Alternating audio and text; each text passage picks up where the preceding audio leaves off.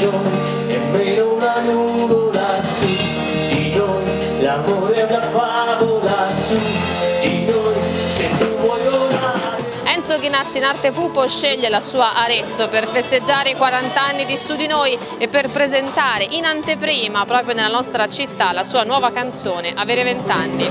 Vuoi fare l'amore, vuoi là, È il brano che più di tutti identifica l'eterno ragazzo di Ponticino da cui Enzo Ghinazzi è partito per poi raggiungere i palchi di mezzo mondo, una vita piena fatta di sconfitte e vittorie senza mai nascondere nulla ai suoi fan che oggi lo acclamano all'anfiteatro di Arezzo.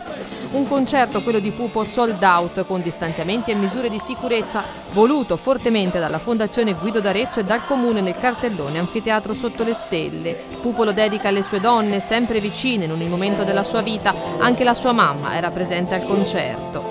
ho paura, ho paura. Beh, insomma, sì, eh, mia mamma, un momento particolare poi della sua vita, ha 87 anni, a lei, a mia moglie, alla mia compagna, alle mie tre figlie, a mia sorella, tutte le donne della mia vita che hanno fatto quadrato anche quando stima e credibilità stavano in qualche modo segnando il passo. E poi a tutti quelli che mi vogliono bene e che vogliono condividere con me questa serata. Peccato aver avuto solo 700 posti a disposizione, ma il periodo è quello che è. Durante le due ore di spettacolo la rivelazione piccante sul brano Gelato al cioccolato scritto da Cristiano Malgioglio.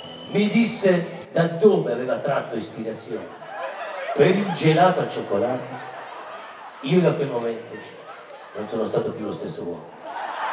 Non la posso più cantare con quella eh, naturalezza, con quella quasi ingenuità. Gelato al cioccolato.